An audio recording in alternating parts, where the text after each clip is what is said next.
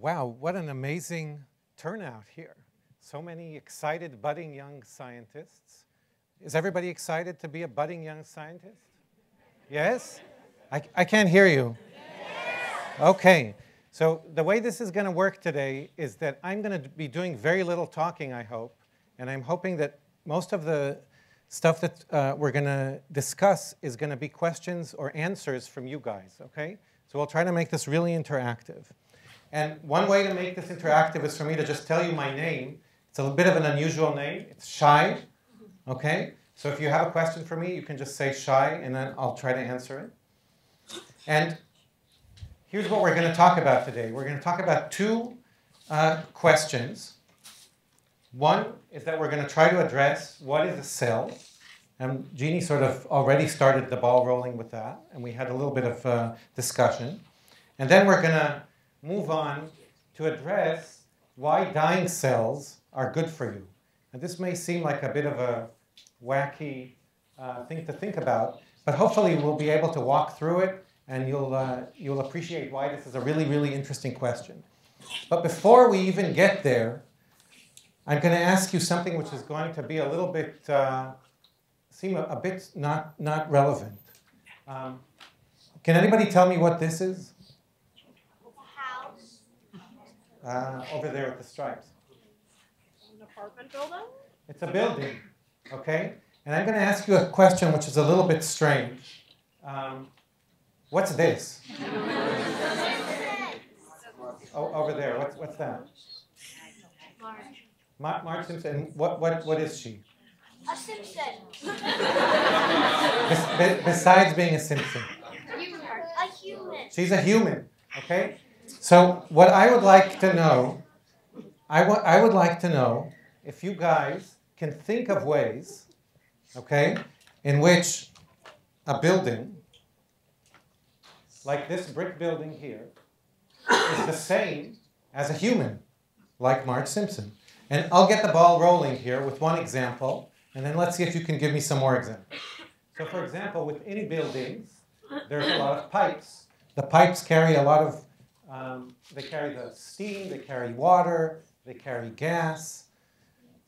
And in humans, there's also pipes. These are the vessels that make up our circulatory system and that allow the blood to go all over our entire body, right? So, can you uh, think of other similarities between a building and a human? Over there. Yeah? Buildings are made of tons of little bricks, just like humans are made of tons of little cells.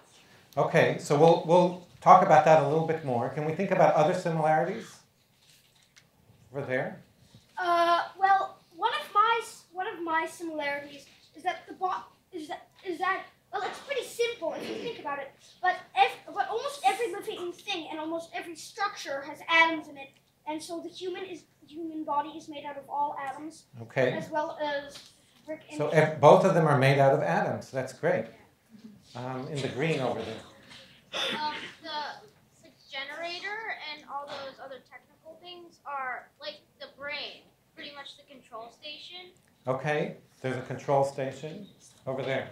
Um, Yeah. Um, buildings, they carry um, people and, and, and organisms in there, and human bodies, they have billions of um, bacteria and microorganisms. Okay, so humans have organisms inside them, right? They have bacteria in the gut, and uh, buildings have organisms inside them too, which are people.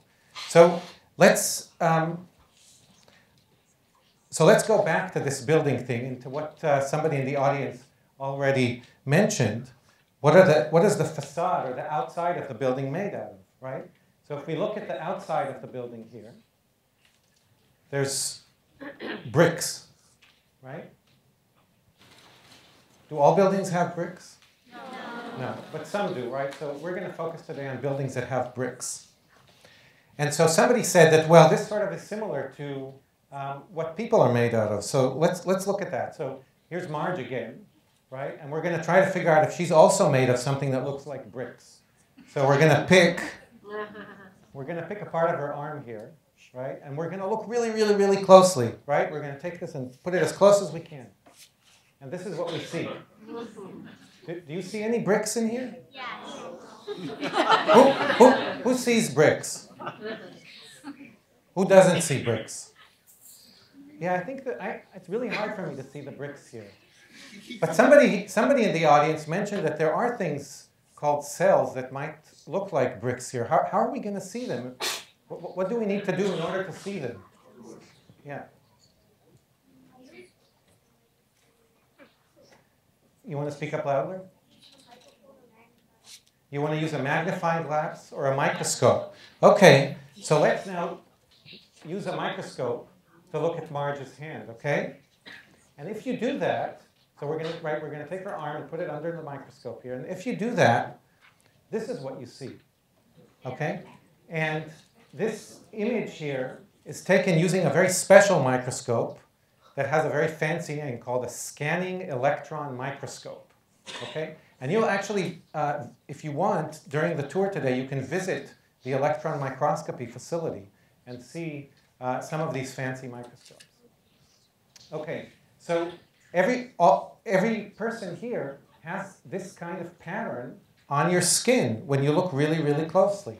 So, um, do you see bricks here? Do people see bricks? No? Here, I'll show you one. Here's one brick. Here's another one. Do you see them now? Here's another one. And what are these bricks called? Cells. Cells, right? So these are the cells. So here's another way in which um, buildings are similar to people, okay? So now I'm going to tell you a story about a building. So once there was a beautiful brick building, okay? And the people that lived in the building loved their building and they loved to keep it clean. And they had this, um, they loved the color red, they wanted to keep their building all red. But then one day, someone, and we don't know who, while everybody was sleeping, decided to mess up the building and paint one of the bricks blue. And that person, whoever it is, we don't, we, we don't know who it is, left. The people in the building woke up in the morning and they saw this calamity and they said, Oh my, our wonderful, beautiful building has been tarnished.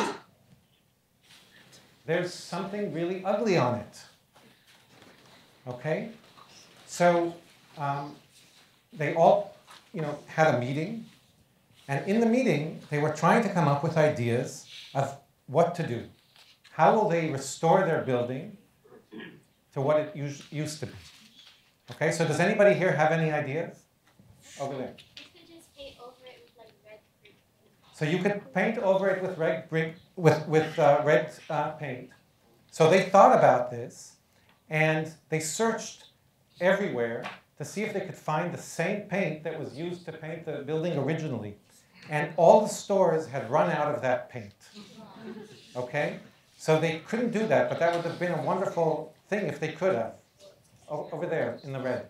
They could replace the brick. They could replace the brick. So, so how would they do that?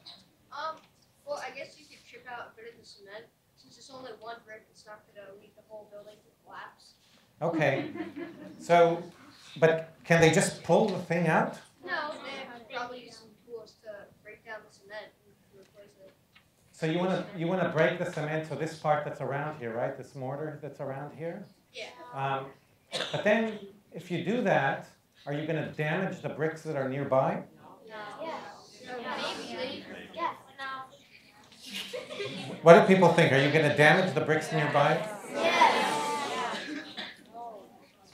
I think probably you will, um, unless you're very, very, very careful. So they would have to find a, a really uh, excellent uh, artisan that will enable them to uh, just remove this part from the outside, right? What else could they do?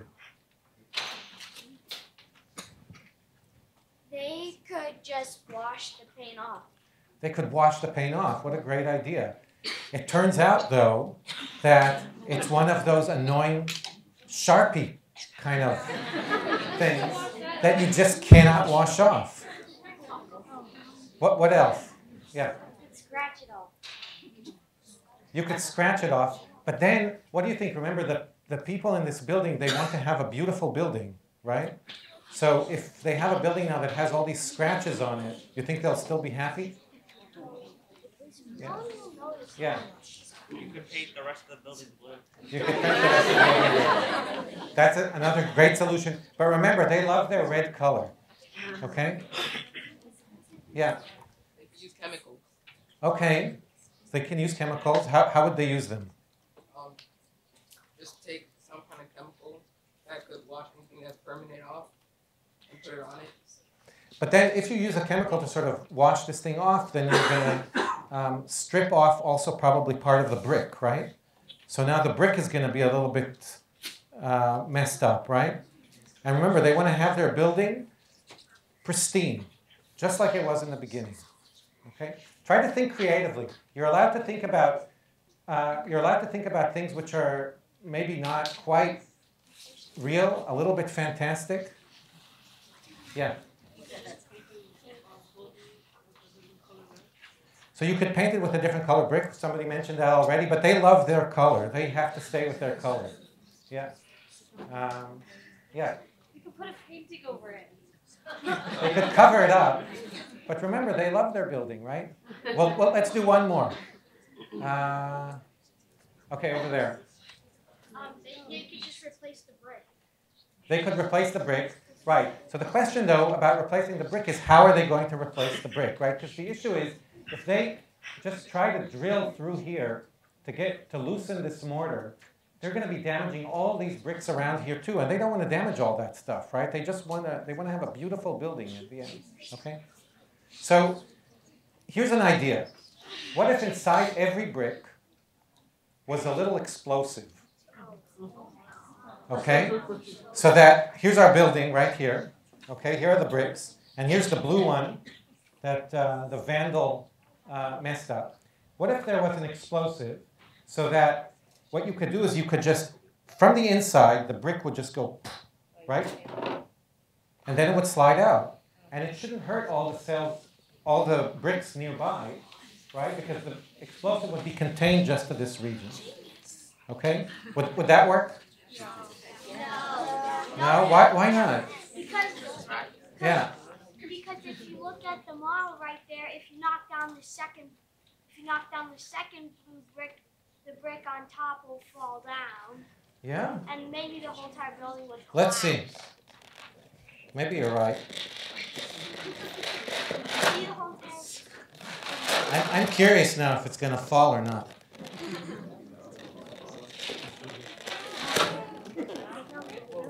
Maybe we glued it too hard.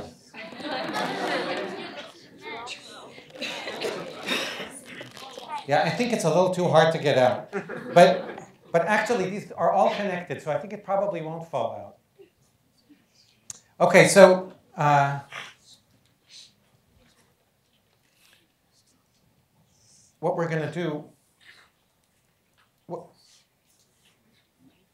The reason for talking about this explosive is that I want to tell you that what cells in your body do, which are the bricks that make up your skin, they do exactly that. They set up an explosive inside their themselves. They destroy themselves, and then all the cells around that are protected. Okay, and so. Um, Right, so I'll actually go back to the, to this here. Right, and here, so here's, here's what I mean. So if we look at our skin cells, okay, they're arranged very nicely, like we saw in that scanning electron micrograph. And then if something goes wrong with one of the cells, like somebody paints something bad on it, okay, these cells set up an explosive. But this is a pretty weird kind of explosive because what it does is it doesn't blow out, it blows in.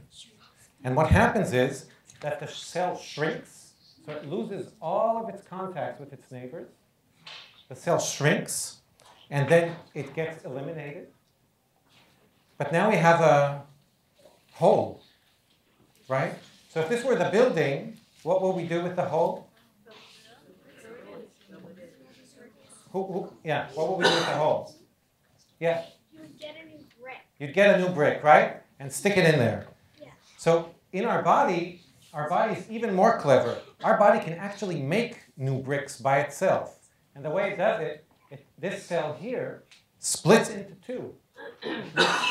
two bricks. And then this one here will fill in the gap. Okay? So our bodies are very clever. They're able to uh, use this mechanism of destroying cells that are damaged, right? That have blue paint or that are damaged in any other way. They're able to destroy them and then replace them. Okay, so uh, I want to show you a video of what these dying cells look like, and you'll be able to see um,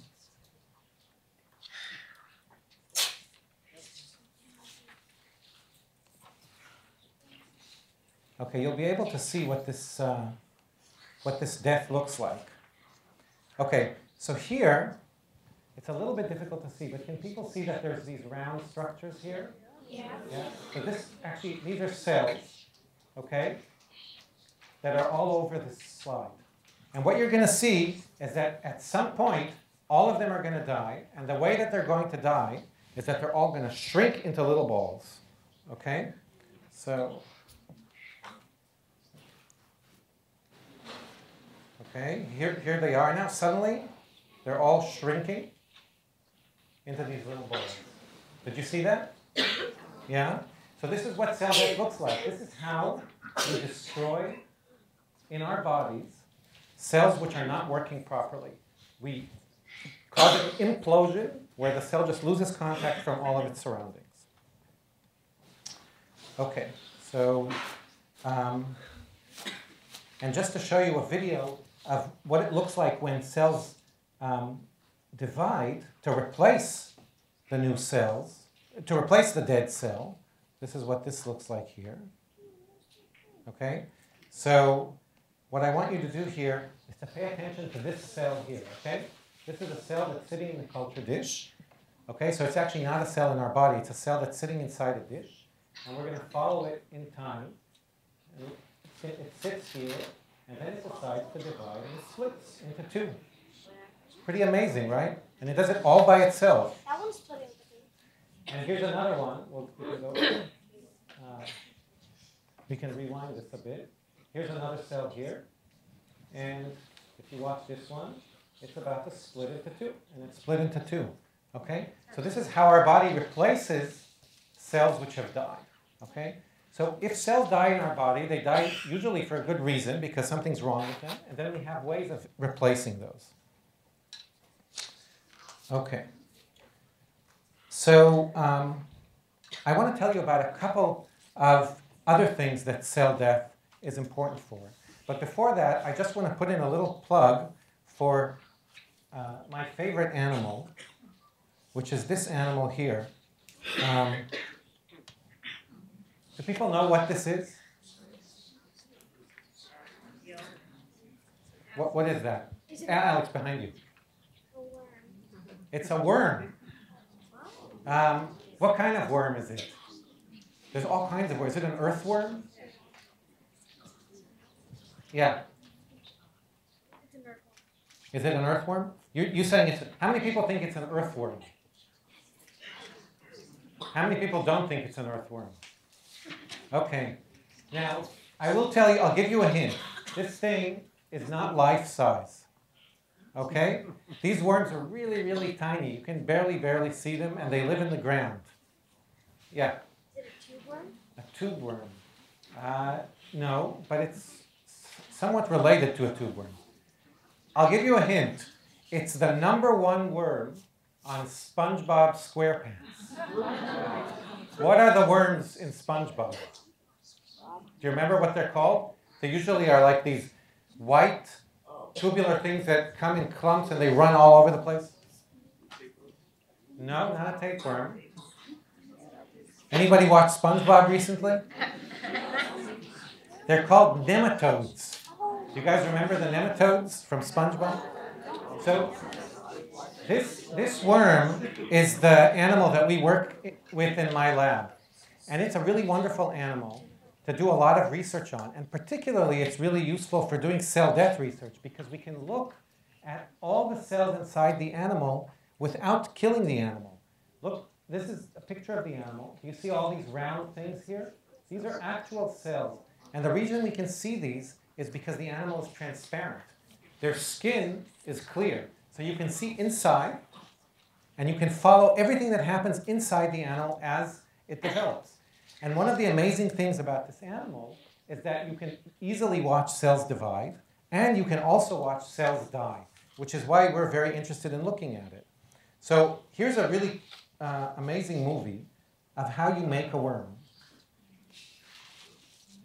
So worms, like people, are made from, uh, from an egg, right? So you have an egg and a sperm, they fertilize each other. Then you have one cell, and then that cell starts dividing. Remember, we talked about dividing cells. And then eventually you get a worm. And here's a movie of how you make a worm. Here's the cell that was just fertilized, okay, the egg. And here's just, we're just going to follow it. We're going to do this twice. So first we're going to follow it. You see all the cells are dividing. And because they're dividing, the cells are getting smaller and smaller and smaller. And this doesn't look really like a worm yet, does it? But look what's going to happen. Starting to look like a worm. And look, it's twitching, it's moving. And that's the worm. It's inside the eggshell. Okay? And basically, you can sort of twist, trace it all the way around here. Eventually, it'll hatch out of the eggshell and will look just like the worm that I showed you. Now, in this movie, um, I'm going to go back because I want to show you some interesting things that happen. Particularly, I want to show you these dying cells. So, the advantage here, remember before I showed you a movie of dying cells, but those were cells that are sitting in a dish. They're not part of an actual animal. But if you want to study how this happens in an actual living animal, this is a perfect system. And I'm going to show you what dying cells look like. Okay? So here, uh, here's, here's an example. So we have lots of little cells here. There's one here which is a little bit hard to pick out. Okay? But if we move the movie forward, you guys see this button thing here? Yeah? That's a cell that just died. And it looks just like the ones in the dish where they all rounded up. Remember that? But the difference again is this is in a real animal. It really happened to this animal that this cell died. And it was supposed to die. Okay? And then it eventually gets cleared, right? It disappears. And if you keep looking, here's three more dying cells. Here's one. You see it? Here's another one here. And here's another one here. Okay? And actually, in the entire worm, 1,090 cells are born, and 131 of them die. That's a huge number, right? That's about 12% of the cells. So cell death is a very important thing for this worm to become a worm. Okay, so this is just to show you that we study cell death in these particular animals. And now I just want to give you two examples, besides the one that we've discussed, of why cell death is actually important. And to illustrate this here, I have this picture. What's this? It's a duck. So ducks are not people, right?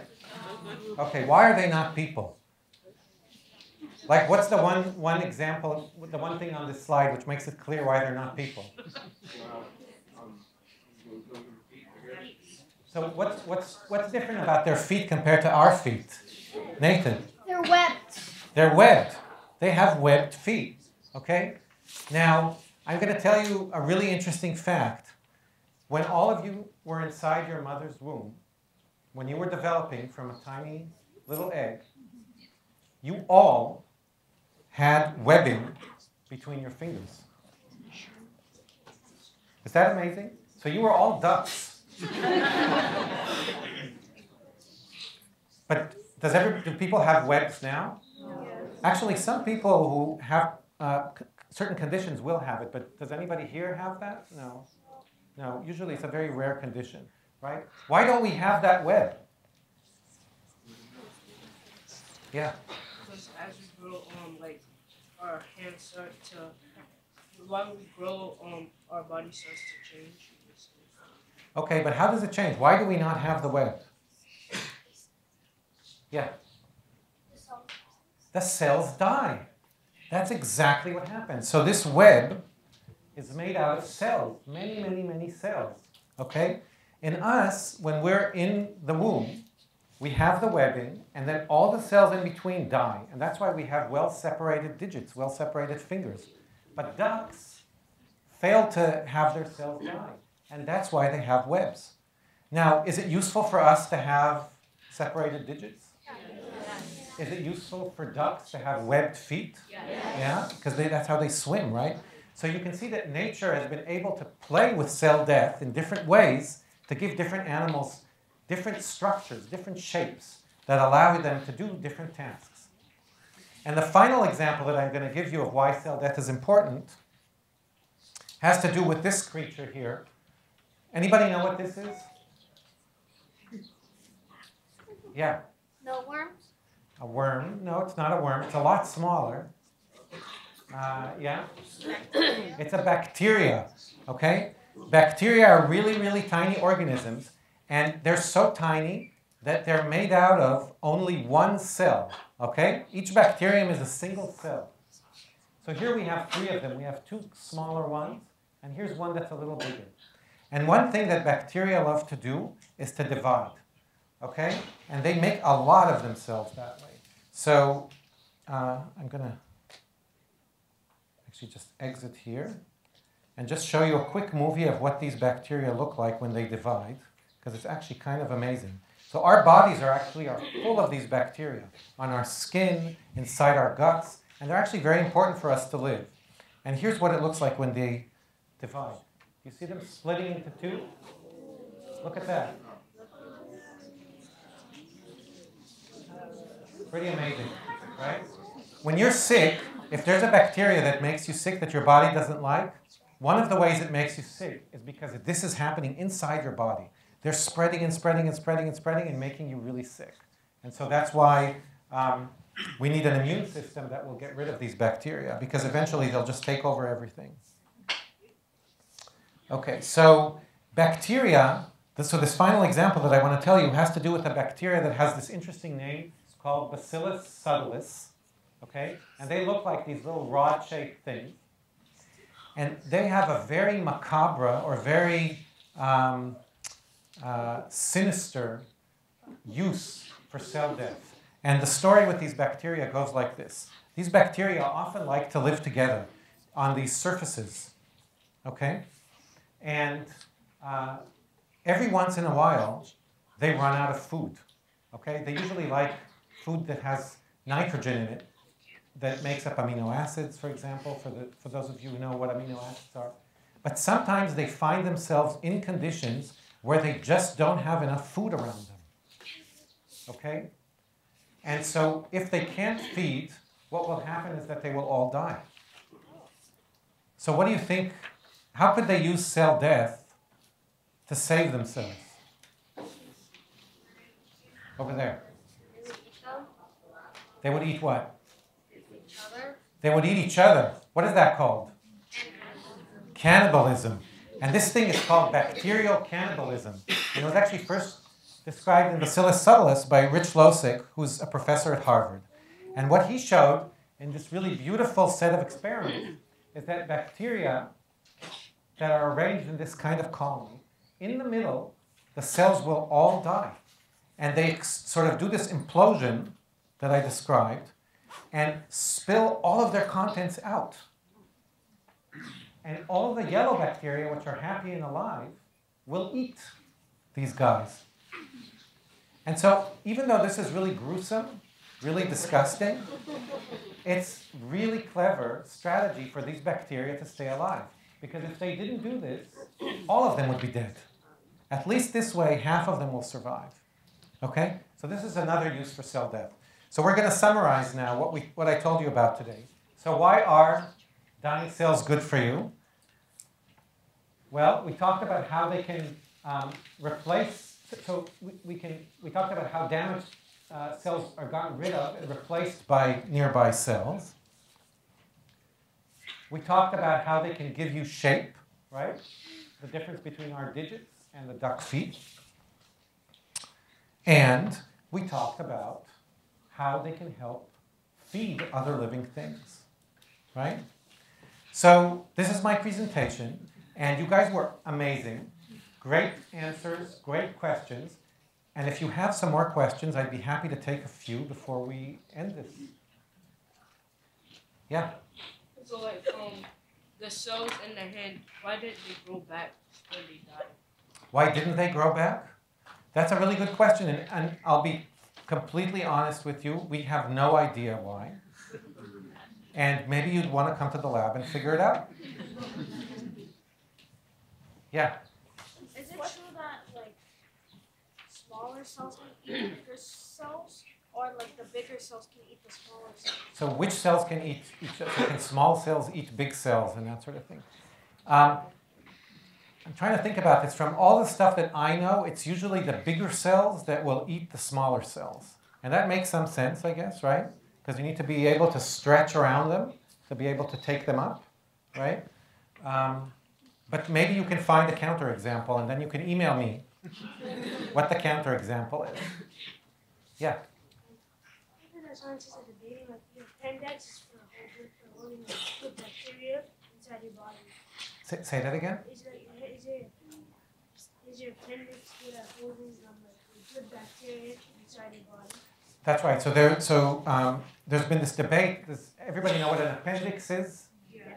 Um, An appendix is this little organ that you have here. I actually don't have it anymore because uh, it got inflamed because bacteria went out of control, and the surgeon had to remove it. Um, and uh, so some people think that they store bacteria um, that help uh, your body function well. And I think it's still a big debate whether that's true or not. Um, but I will give you, so people call the appendix a vestigial organ. So vestigial means an organ that you don't um, need, that maybe you need, maybe some ancestor of ours needed millions of years ago, but now you don't need it. But I will tell you a very quick story about vestigial organs. There's a little gland here called the thymus. Okay, it's a little part of our, uh, maybe a little bit lower here. Um, that's uh, it, it's really very small, and in grown-ups, it's so shriveled and small that people always thought that it was a vestigial organ. And there used to be a time in the early 19th century, in the early 20th century, where um, people who got sick a lot had an operation to remove their thymus. Okay? And many of these people died because it turns out that even though the thymus looks like it's a vestigial organ, it's the main organ of our immune system. And so if you're sick, the last thing you want to do is to take it out. So vestigial organs um, may exist, maybe the appendix is one, but we got to be really careful in deciding whether it is or not. Yeah. Yeah. Why don't the cells in the duck's feet die? Say that again. Why don't the cells in the duck? Why don't the cells in the duck's feet die? Why don't the cells in the duck feet die? That's a really good question. we don't know the answer fully, but there is actually some work from uh, an amazing uh, scientist called Lee Niswander, who had looked at a small protein called BMP. It stands for bone morphogenetic protein. And that BMP protein is important for uh, keeping these cells alive. Okay, so she found this one protein that's involved in that. Diana?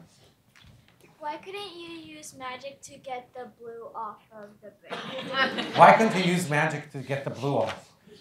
You know what? If you can find the spell to do it, you have to let me know. And then together we'll become rich. Um, Alex. Well, my my question is that it's a pretty interesting question. Well, are cells are cells able are cells able to die but still be like cells die but still basically work even though they're dead? That's actually not a bad question. It sounds like a, a little bit of a crazy question, but it's mm-hmm. actually not a, not a crazy question at all. So when a cell dies, what I didn't show you is what actually happens to it at the end. And what happens to it is that usually another cell comes and just gobbles it up. Okay? So that cell that died can now provide nutrients for the cell that ate it. Right? So just like with the bacteria. And so it's possible that even though this cell is not alive anymore and it's all destroyed, what was inside it helps keep the cell that ate it alive. And so, in some sense, it lives on. Okay? Any more questions? Nathan? Well, I, I have another reason why ducks and humans are very different that's not shown. The genetic coding is very different. They do have different, uh, different genes, although you'll be surprised how similar they actually are. Yeah. It's pretty amazing. mammals have similar. And let me tell you actually one thing, which actually it's a point that I wanted to make, uh, two points that I wanted to make. You, you reminded me of this. If you took a cell from a duck and just looked at one cell, and took a cell from you and looked at it, you couldn't tell the difference. Even more, if you took a cell from that worm that I showed you that we work in in the lab, and a cell from your body and put them side by side, you could not tell the difference. All cells pretty much look the same, and what's, what makes an animal special is how these cells are put together. Okay? The other point that I wanted to make, which is just a really cool fact about cell death, is that cell death happens in you and me every day, all the time. Okay? And we talked about the skin and how you have cells on the skin. All of these cells on the outer layer of our skin are shed constantly. And so you know how you have a lot of dust in your house? Some people have dust in their house, right? Your parents are getting on your case to clean your room all the time from the dust, right? To wipe it off. Almost all of the dust in your room are cells that died from your skin and fell on the floor. Is that amazing? It's a lot of it's a lot of cells, right? There's a lot of dust in your house, and most of that comes from dying cells. Okay. Yeah. How do stem cells work? How do stem cells work? Okay, that's a very complicated question, and we actually don't understand it fully. Um, but just to give you a very brief answer, is stem cells are cells that have the capacity to become any kind of cell. So if you have a stem cell, it can become a blood cell, or it can become a bone cell, or it can become a skin cell. Okay, um, and it's a kind of a magical capacity. Somebody was asking about magic. Diana was asking about magic. Stem cells are kind of magical because they can become any kind of cell in the body, and we now know a lot of ways of directing that. So if you take a stem cell, if we put some proteins on top of it, incubate it with some proteins, we can make it specifically become a skin cell or specifically become a blood cell or a brain cell. So we know a little bit about that process, but there's still a lot that we can learn about it. Yeah. So about what you just said about. yeah. Is this, a, this is a grown-up question, Grown-up right? question. Made Yeah. think quickly when you said Yeah. that all that dust can be uh, our skin. Um, so if you're allergic to dust, does that mean you're allergic to your own cells? That's, uh, that's an interesting point. So uh, people have this, uh, each person has this uh, wonderful capacity to recognize its own cells. And that's why we don't just explode in this one big immune reaction. So uh, it's called self recognition. And I mentioned that thymus. This is where a lot of that uh, education of the body about which cells are part of your own and which are not comes from. Um, but if I could imagine that if you happen to be allergic to uh, somebody else's cells, right, that could maybe be a reason for allergies. But I don't know that there's an example for that, though. I know that that's actually been shown. Yeah. Yeah.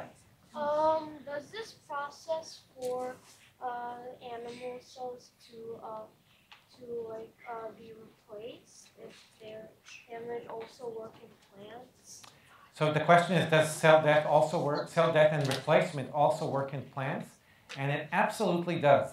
So plants use a different uh, a different mechanism of killing their cells, and um, often their cells will be killed by viruses or by bacteria, but then the neighboring cells will divide and fill in the gap.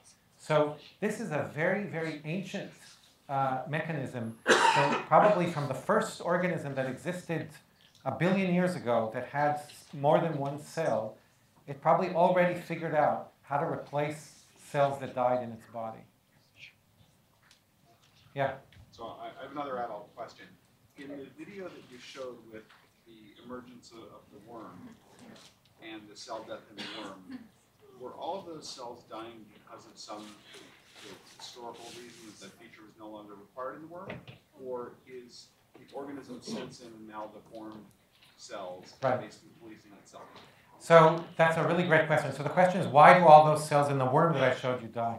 And um, the answer is that out of the 131 cells that die in this animal, um, they're all, it's always the same cells that die. They always die exactly at the same time. And so in fact, you can tell whether one of a cell is going to die before it actually dies, which is one of the reasons this is such an amazing animal to study. We can't do this on other animals. So only nematodes are good for this. And, um, but why they actually die is a mystery, except in one case.